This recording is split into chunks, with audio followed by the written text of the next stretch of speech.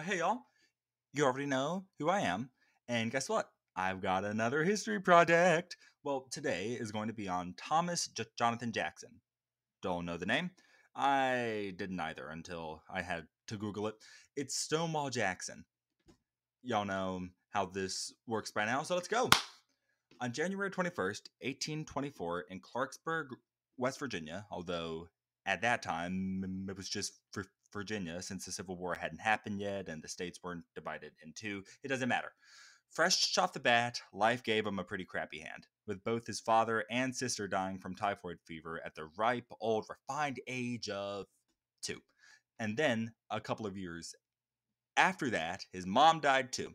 So, Mr. Stonewall had to move in with his uncle at the ripe old age of seven. Now, life actually wasn't all that bad with his uncle, I'll be honest. He helped him out on the farm and occasionally went to school, but not that often, so he just had to teach himself to read through borrowing books because of, you know, farmhand. J- mm. Jackson's first job was actually as a cop at the distinguished age of 17. This naturally allowed him to enroll in into West Point for his college of choice. And for those who don't know, West Point is kind of like military Harvard. If you went there and graduated, you pretty much had a future inside the army.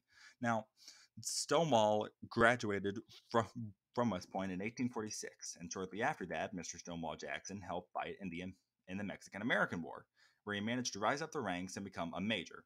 For those who don't know how important the rank of major is, here's a chart.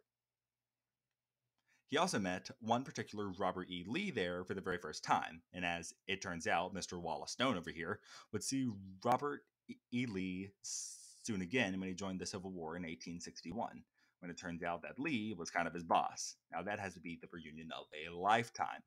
Now, Jackson started out as a colonel and managed to rise up to become a brigadier general. Once again, for those who don't know, here's a graph of those who have no idea how military ranks work. And and you know, Jackson actually got the name Stonewall for a very specific reason.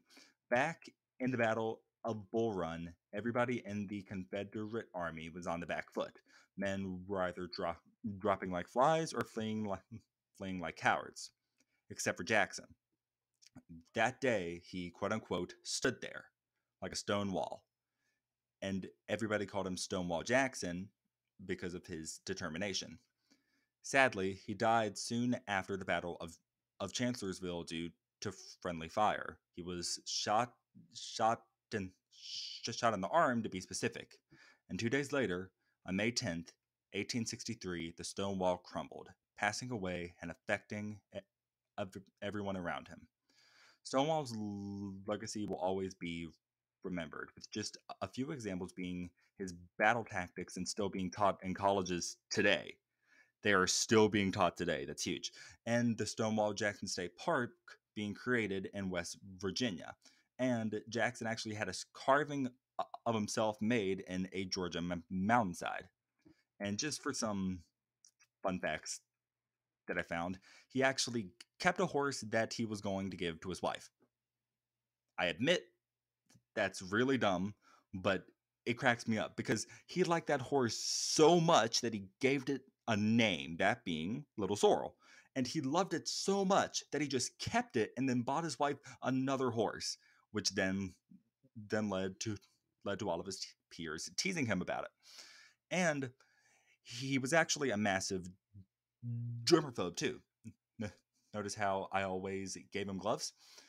And one time he actually lost his middle finger in battle. And no more than a day after the amputation surgery, he basically just woke up and went back to work despite being told to rest. And that is some amazing legendary stuff right there. Now, St- Stonewall Jackson was was an amazing man who quite frankly lived an amazing life. His death, while not serving his his side's cause, it did cement him as a brilliant mind and a fascinating man. Thank you, and a good night.